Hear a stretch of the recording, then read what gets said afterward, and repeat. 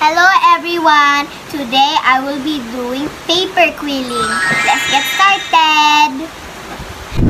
The materials we need are toothpick, glue, scissors, colored paper,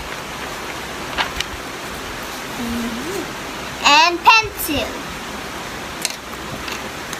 Let's get started! Step 1. Cut a strip of paper.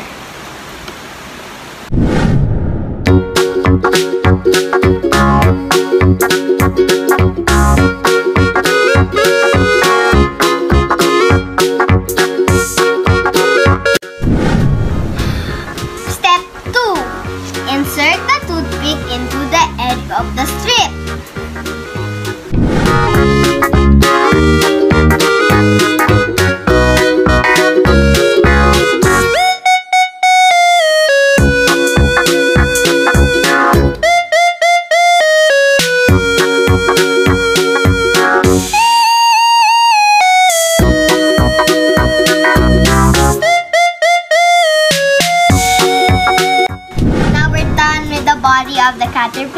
We are going to move on with the eyes.